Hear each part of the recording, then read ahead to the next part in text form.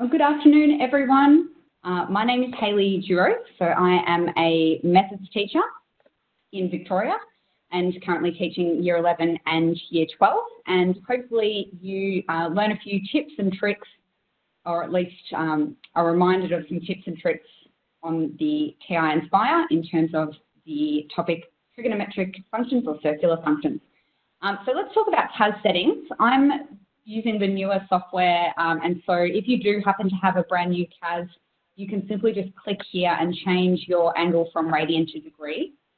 However, if you are um, not in the, the latest TI Nspire CAS um, CX2 model, you would do that through your home um, home button here. So you would go home and then into settings and in document settings, you really want to make sure that your angle is set to radian. Um, I know some students, you know, want to flip back and forth between degree and radian, particularly maybe if you're using a calculator for your physics homework or something like that. Um, I would encourage you just to be safe to just stay in radian. And I'm just going to show you how you can convert an angle um, into degrees very quickly. So uh, I'll add a math box here, but you could be doing this in a normal calculator page. Um, imagine that you have an angle, uh, something like pi on 6. We'll do something familiar. Um, now that's pi on 6. If you wanted to convert it very quickly to decimals, uh, this catalogue button, which is the little book, two, two buttons next to 9, um, there's an option in this list for decimal degrees. So if you um, click DD, it will convert your answer very quickly into um, degrees. So that's really handy um, if you're working in a normal calculator page and you get an answer in um, radian and you just want to convert that to degrees, it will convert it for you. Um, and likewise, if you had um, something in, in radian here and you wanted it in degrees, minutes and seconds, um, which our physics students, I guess, might want sometimes, um, there's an option for degrees, minutes and seconds in this list as well. It's a bit further down because the list is alphabetical and it will convert it into degrees, minutes and seconds. So um, that would be my advice. Just leave it in radian and know how to convert. Okay, let's jump into um, some examples, solving trig equations. Uh, we've all seen equations such as this one here, show something fairly basic. Um, and hopefully we know that in a, um, in a calculator we can use our solve function. Now I'm just going to split my page here. I'm doing that by clicking doc and then page layout and selecting my page. I just want to put a normal calculator page bottom here. Okay, so if I want to solve this equation, menu 3, 1 is the shortcut and I can um, type that in. So true sine of 3x equals 1 comma. Now, if I do not put a domain restriction here, I'm going to get general solutions. And we'll come back to general solutions in a moment because they can actually be quite useful. Um, however, if I had put a domain restriction on the end of my equation, um, I would have given the, the solutions in this domain.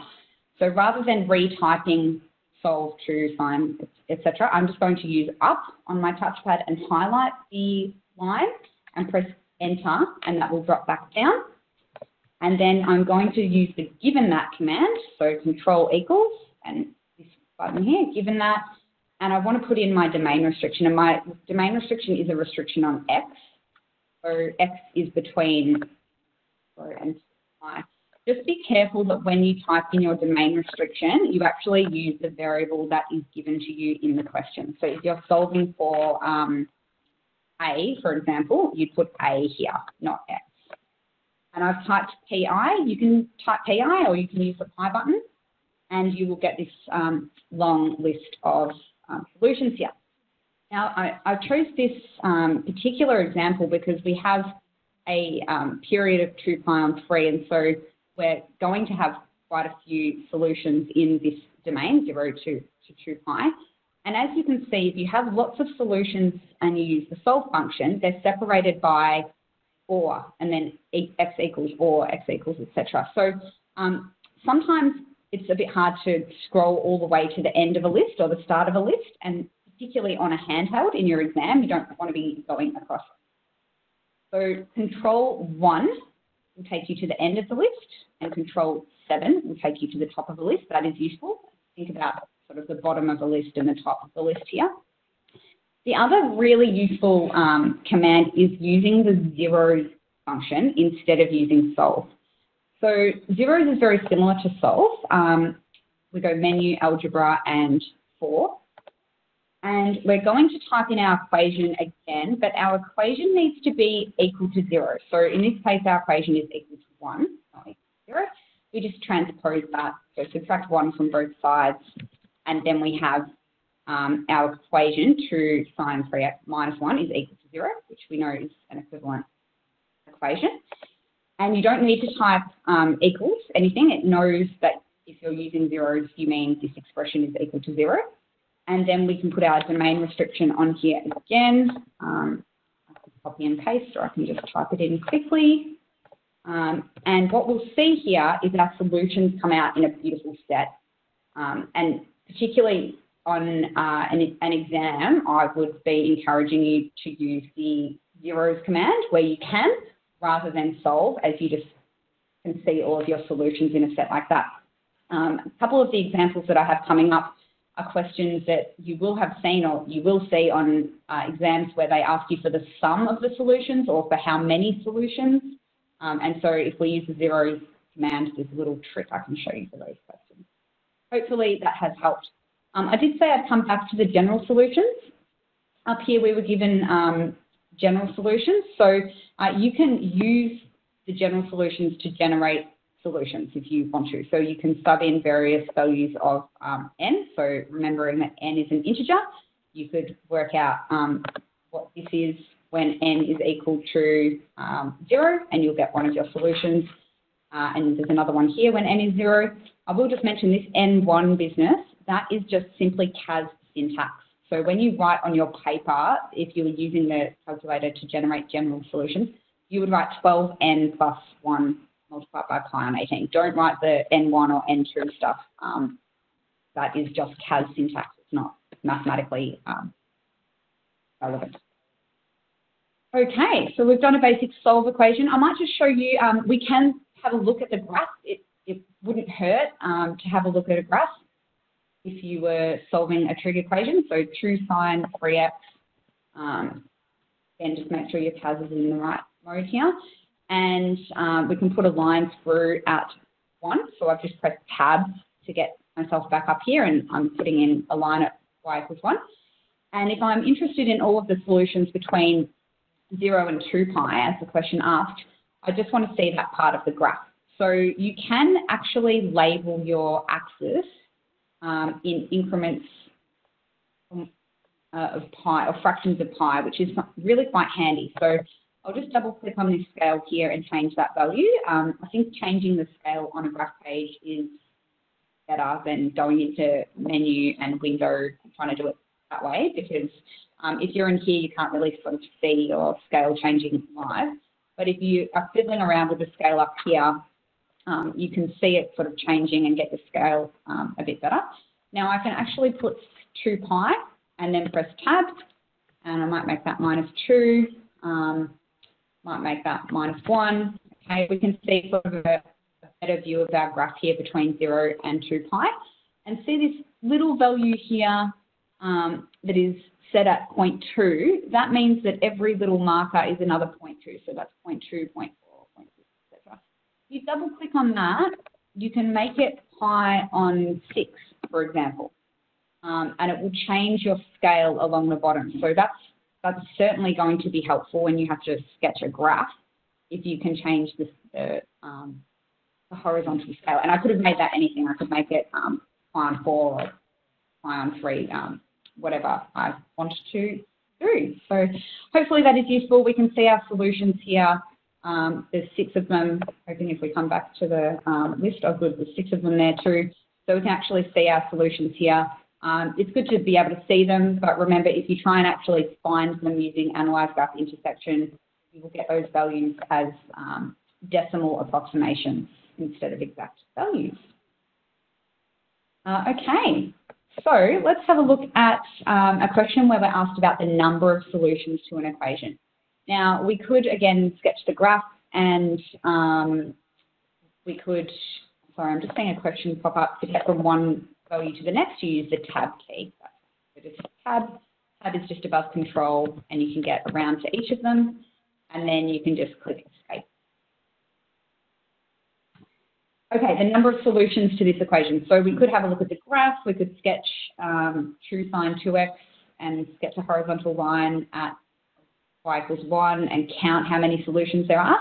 Um, but I'm just going to show you a little bit of a trick here. If we were to use the um, zeros command, let me just my page.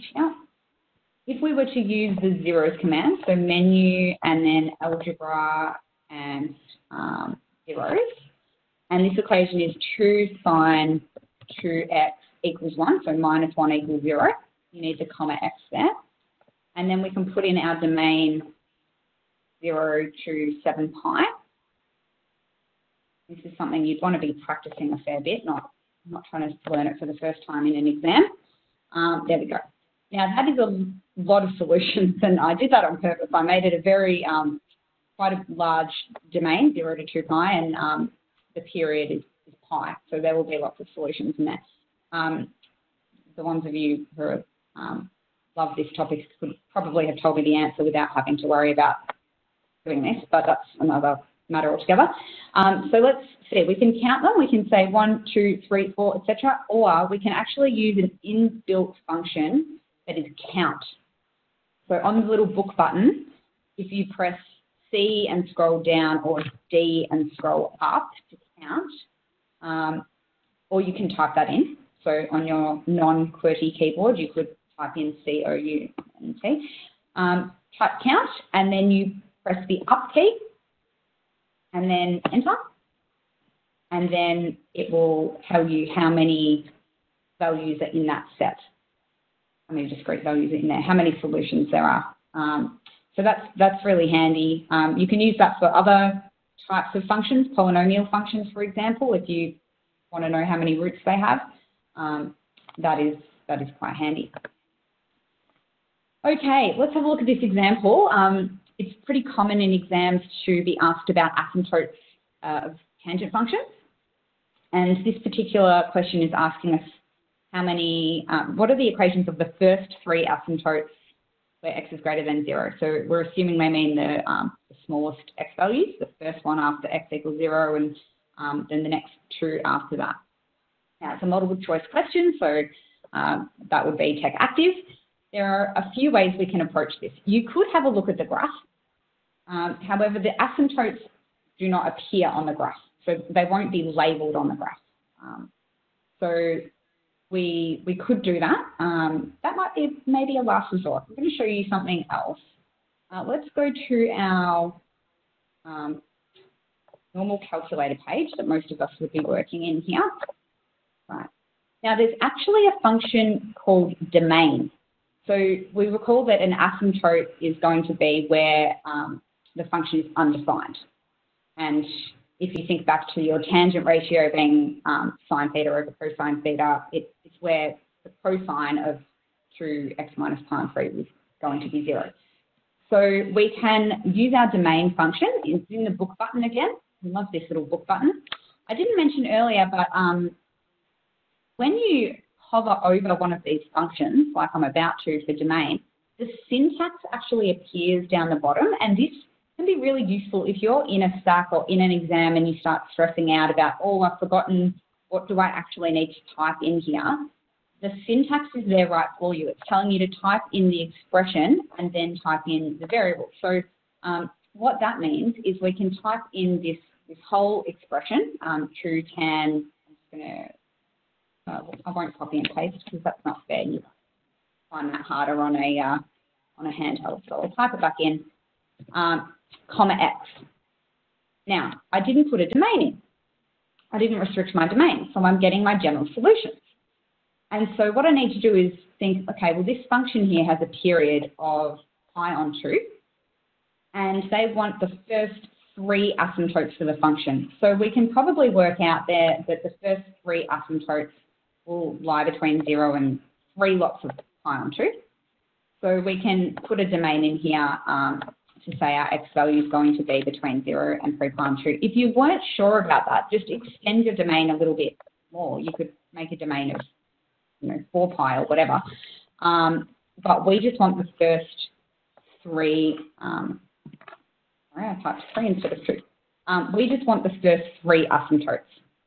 Okay, so what we can see here um, is that the domain of the function is all real values excluding, well, sorry, all values within between 0 and 3 pi on 2, I should say, um, excluding pi on 12, 7 pi on 12, and 13 pi on 12.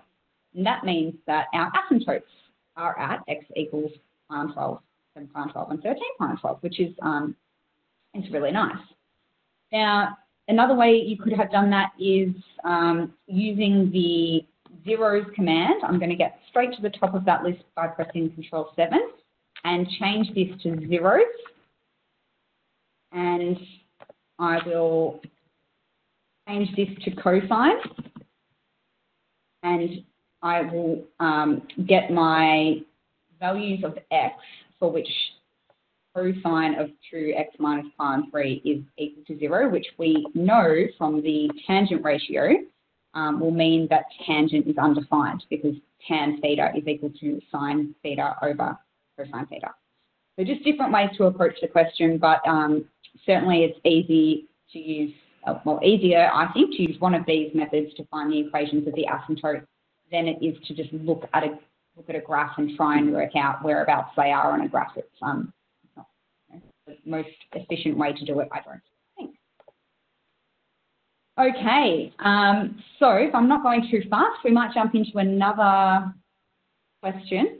And um, this question is asking us to find the sum of the solutions. I might just mention, uh, if you want to use some of these screenshots for your bound reference, um, if you've got the computer software and you, for example, have just played around with this and you, you want this to be in your bound reference, um, you can press Control J, Control J, and Control J actually takes a screenshot for you. So um, we can see here that my little images have appeared. These are various screenshots that I've taken. Um, and they can be um, then copied and pasted into a, a Word document um, for your bound reference, which is really fantastic. So it saves you from handwriting, you know, press solve, comma, X or anything like that. Okay, let's have a look at this question. We're asked about the sum of the solutions. This is a fairly common uh, question. So instead of asking you to find all of the solutions, they want you to find the solutions and then add them together, find the sum of the solutions. So um, I'm just going to split my page again and add a calculator page. And we can, of course, use our zeros command. So menu, algebra, and then zeros. And we type in 4 sine 2x minus 2 root 3. Remember that we don't need to put equals 0, it, it knows. Um, that expression is equal to 0. We need to put our domain restriction in here. And moment, sorry about that. And then we get our solutions. Now, um, like we could count them before, we can use another little shortcut that is the sum command. So in your catalog button again, we want SUM. So you can do S and um, scroll down, or it might have been might have been easier um, to scroll up. And we press up. Probably quicker actually to type in SUM even on a non-QWERTY keyboard. Um, up and enter.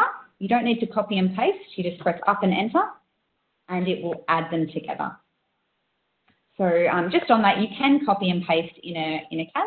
Um, control C and Control V will be um, copy and paste, but I think just highlighting and pressing enter is um, a really efficient way to do it. And that's useful. You saw me do it before when I made a mistake. I didn't have to retype the whole line of working out. I just copied it back down and edited, um, edited that. Okay, um, let's talk about application questions. Uh, the thing is, I wanted to keep this uh, webinar really focused on circular functions. rather than um, going into calculus. But as we know, by the end of the year, a lot of these, even by mid-year, a lot of these questions will involve um, calculus type questions. So I haven't used anything about the rate of change of water or anything like that. I'm, I'm keeping this fairly basic, but hopefully you pick up some, some tips that you can use in your exam. Um, quite often these questions will be about some sort of rotation. So um, something that is cyclic, like voltage or, um, you know, the, the, current changing or the temperature changing in the atmosphere or a position on a, on a wheel or something like that. Um, and depths of water at a tide, at a pier, sorry, is a pretty common sort of question. Um, one thing I would really encourage you to do with these questions is to use the assign command. So I'm working in a, in a notes page here. If I press Control I and get my list, Control I means insert. If I get my list of all my pages, you're probably more familiar with these two pages. Maybe if you do further maths, you might be sort of more familiar with these two pages as well. But in methods, we generally have been using calculator and graph. This notes page is a page that um, it's like a notepad, so you can type words um, I understand on your non-QWERTY keyboard that's a little bit difficult, but that's the type of page that I've used here. Now to get anything mathematical happening in a notes page, you press Control M, Control M for math, and that will insert a math box. So if I wanted to um, do some maths, I could do that inside the math box. If I'm not inside a math box, it's just normal text. And so um, I've used a, a, notes page here and I can go in my math box and change that equal sign to assigned, which is how we can define a function. So I press control and then the assign command there. Um, and now I am assigning my function. Now I have assigned that or defined the function without the domain restriction. I will use the domain restriction when I'm applying um, my understanding to answer specific questions, but I tend to not define the function with the domain restriction. Um, you can do that, so you could add a domain restriction on the end here and that would work, but I just tend not to do that. Um, one other tip is if you've got decimals in your function, I would tend, I tell my students to do this as well, just change it to um, a fraction. So, you know, if it was 1.7 or something and you're struggling with converting it, you're stressed about that, um, just put it over 10, um, 17 over 10. It just means your solutions will come out um, as exact values and you won't be in a position where you're getting decimals generated when you want your exact value. So I would try where you can to not define a function with decimals in it. Another little tip. Um, have a good look at the, the variables. So depth is in meters, that's relevant, and um, time is in hours. So you really want to make sure, um, I think I've said that time's in hours, but I wrote the question, so time is in hours. Uh, you want to make sure that you have double checked that in case they ask you to give your answer to the nearest centimetre or something, and um, and sorry, and you um, you've given it the wrong um, unit. Okay, so if we were asked a series of questions about the depth over a 24-hour period, um, one thing we want to do is have a look at the graph. So control I and add a graph. And we can type in D because we've defined our function already. We don't need to retype the function, but we won't use D of T, we'll use D of X. Now that's because your graph page has already been set. Um, it has X here as the independent variable. You can't change that. So um, you just need to sketch your graph in terms of X. Uh, when we're answering questions on our SAC or our exam, we'll be very careful to write T, not X. Um, now, we can change our scale here again, double click here. I don't really need negative time. Um, I can change this, so I might make that 10, and I want to see the first 24 hours, so I might make that something like 26. And when you're happy with your scale, you can just click escape and get out of that.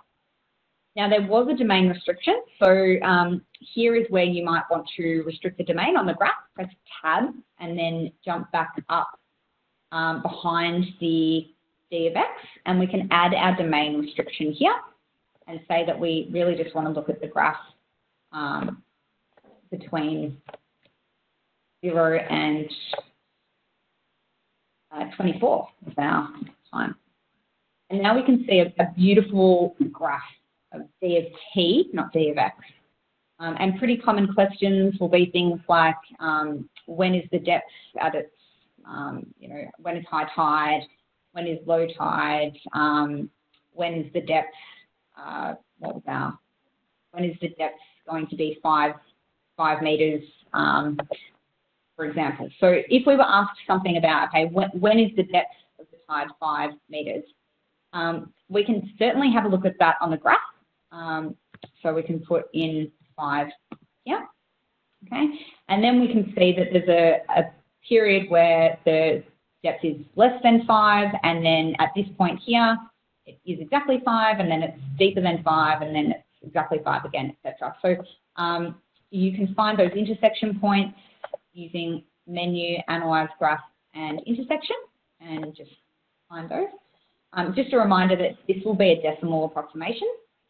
So if you do want the exact values, you would need to use the solve function on your calculator. Um, and you need to find each of these ones separately. So when we use analyze graph and intersection, we just jump to the left of a point and to the right of a point, and we can see that. Um, you do want to make sure you're seeing enough decimal places here. So the settings for your calculator page are separate to your normal settings. Um, we can go into menu settings here and change your um, change your float here. Now, I, I usually have mine up really high. Um, it, it, sort of you want enough decimal places that you're not going to incur a rounding error by, by rounding something that has already been rounded essentially.